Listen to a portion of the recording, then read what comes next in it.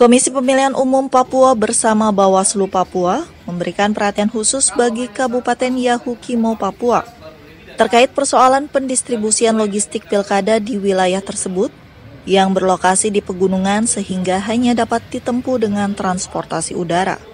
Pihak KPU Papua pun memetakan hanya Kabupaten Yahukimo yang masih akan menggunakan sistem noken dalam Pilkada serentak 2020 dari total 11 kabupaten di Provinsi Papua. Adapun guna mengantisipasi pemungutan suara ulang, kecurangan pada sistem noken, ataupun intimidasi yang terjadi di lapangan saat pemungutan suara, pihak KPU Papua melakukan koordinasi dengan jajaran penyelenggara dan Forkopimda setempat. Itu hanya terjadi di Jahukimo. Nah, Jahukimo ini kan uh, eh, 51 distrik. Dari 50 distrik, itu satu distrik tidak menggunakan sistem noken. Nah, yaitu distrik DKI. Nah, distrik DKI itu memiliki uh, 16 TPS. 16 TPS itu menggunakan sistem nasional one man one vote. Nah, sedangkan 50 distrik lain itu semua menggunakan sistem noken.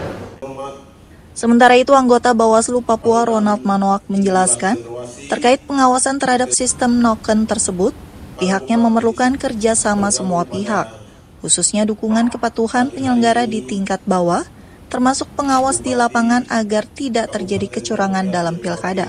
Mungkin kan udah jelas hanya di Yaukimo. Berapa distrik? Uh, seluruhnya. Oh DKI juga? Ya. Gunungan Bintang? Selain itu semua sistem nasional.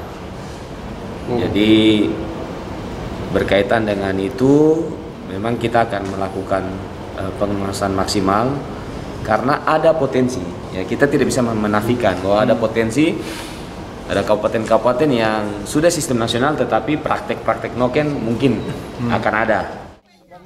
Adapun sistem noken yang dimaksud adalah noken yang merupakan tas asli Papua digunakan sebagai pengganti kotak suara.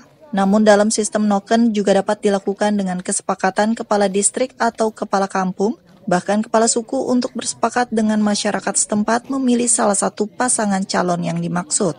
Dari Jayapura, Papua, Laksama Hendra, kantor berita antara mewartakan.